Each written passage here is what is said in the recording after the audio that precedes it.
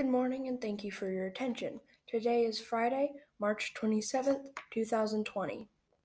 Today is Spanish National Spanish Paella Day. Paella is a Spanish rice dish that is one of the best known dishes in the Spanish cuisine. Sounds delicious.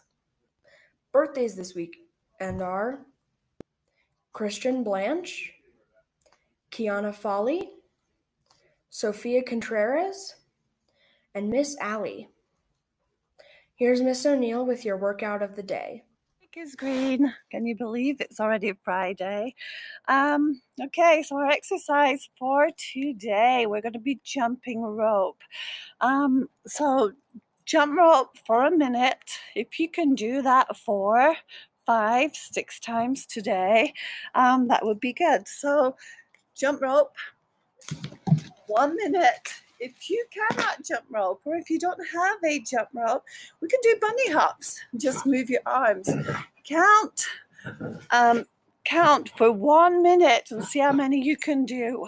Um, you should be able to do at least 100 in one minute. If you can do more, that's great. And set a goal for yourselves today. Maybe do 600. Um, I'm going to do it with you too today. And my goal for today is 1,000 jumps. Okay, that doesn't mean that has to be your goal. That's my goal. So have a great day.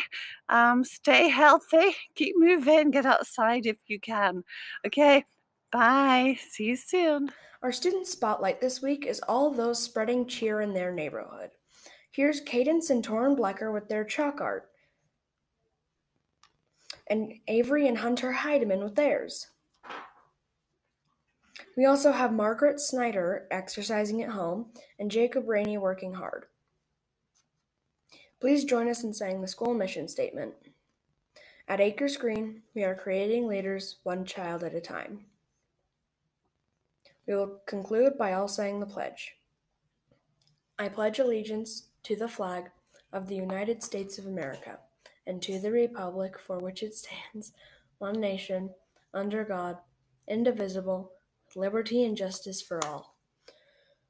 We'd like to leave you with this photo of Mr. Ludwig and his daughter to make you smile. Thank you, and have a great day.